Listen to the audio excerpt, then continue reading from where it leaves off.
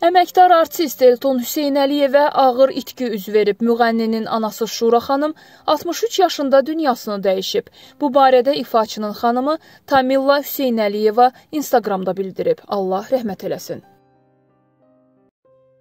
Aktrisa Xəyalə Quliyevanın 8 mart paylaşımı hər kəsi kövrəldib. Sənətçi Beynəlxalq Qadınlar Günündə 2020-ci ildə vəfat edən anası Ziyafət Quliyevanın məzarını ziyarət edib.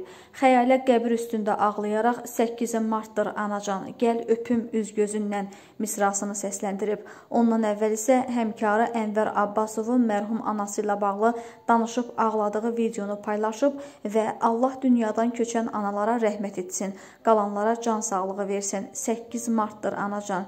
Üz gözündən öpə bilmirəm deyə bildirib.